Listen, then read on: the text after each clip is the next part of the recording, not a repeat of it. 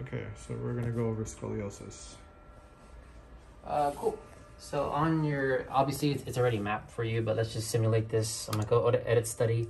Your your scoli views are are for lower extremity. It's gonna be called long length, leg length, uh, the AP or the lateral, and then for scoliosis, it's literally under scoliosis, the AP, the PA, or the lat, depending on what you do.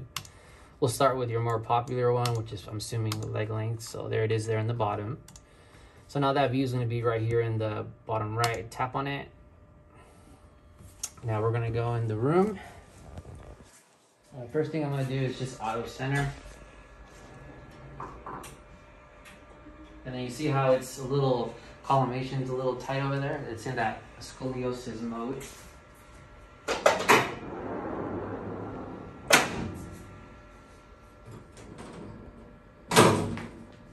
We're gonna bring our guy over. You guys already have one of these, I think. Yeah.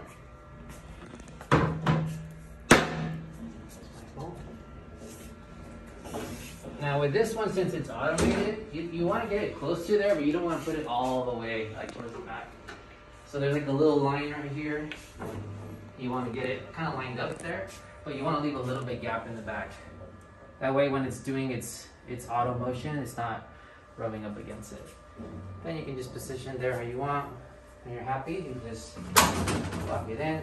Uh, your LLI grid, you guys won't need it here because you guys have a 17 by 17 plate. Um, so the the multi-focus grid, when it gets in, it'll be good enough for it. Okay. Uh, same concept here, right? You would just lift it up if you wanted to. Um, we do recommend using the straps. Not sure if you guys use the straps over there on your other one. Um, the way the straps work.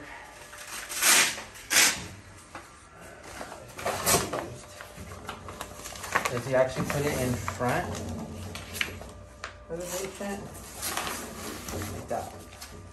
Uh, and then it just kind of holds them there. That's Yeah. nice. I like that.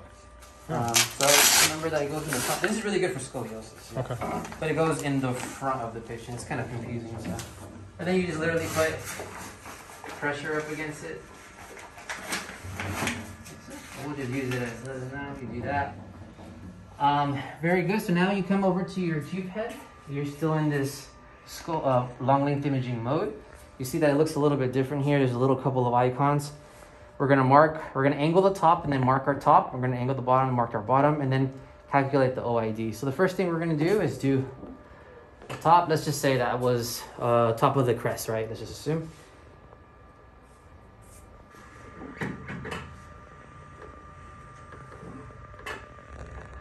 And then right here, I wanna say this is the top of the image that I wanna capture.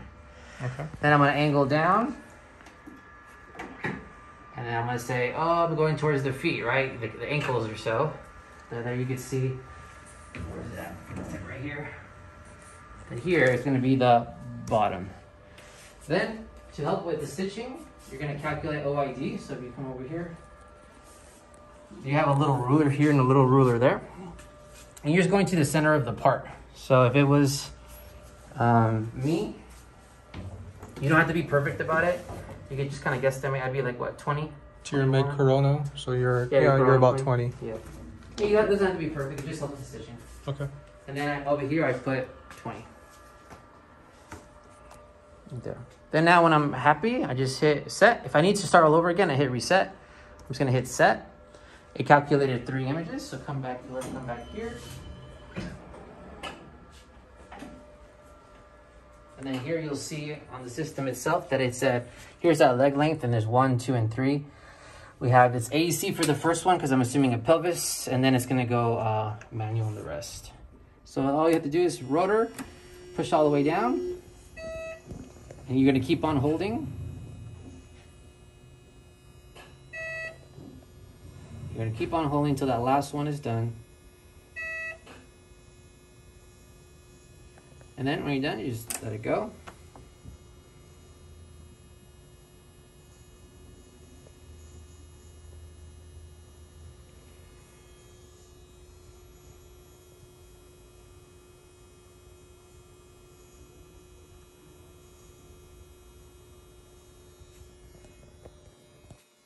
Cool. There's your image. Simple as that.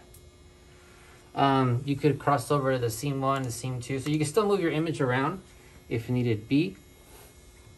Um, it's it does work differently though than the other one does. It's processing the image as one big image, so that's why it takes a little bit uh, longer to process. But the image is gonna come out way better. Um, so I always recommend when you're starting to switch from like left to like without is to turn off the processing, and by that you just turn this guy here, and then this is how the shift uh, how many pixels or millimeters you're moving it from right to left. So if you wanted to shift them, you could, or you could use fiducials. Have you guys used fiducials over there? No. I'll show you fiducials. You see how there's a 79 there and it's a 79 there? Mhm. I'm marking that same point as that same point, and then it's gonna overlap them. So that's it. That's if the stitching doesn't work, you know, uh, well. But if you have it, if you have the patient's not moving, it's gonna work really, really well. Okay. I like the stitches, the the fiducials. At that point, once you have that image, I then I, I apply the processing. It just helps with like you when you're switching over back and forth. Okay. That's it. So now let's just do the same thing, but for scoliosis. Edit study, spine, scoliosis. We'll just do a, a lateral. So now it's going to be there. Let's go back into the room. I'm to then auto center. That way it lines up. I'm gonna hit my tracking and bring the system all the way up. Then at that point, I'm done with the remote. That's confusing. Same concept. And then gonna come my tube head. That light. I want to angle up. And say this is maybe the infraorbital line. That's the top of my capture. Able down to about aces or so, right? There it is. Same concept. I would do my OID, but this time it would be, it was for my lateral. It would change a little bit, right?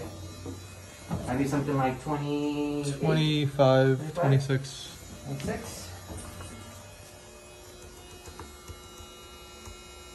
And I say set. It's gonna calc. Back over here, same concept.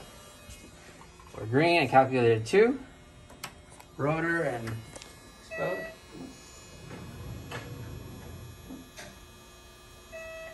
Okay, that's the second shot. It's only two for this one. I can let go. And the same concept as the as the um, bone length.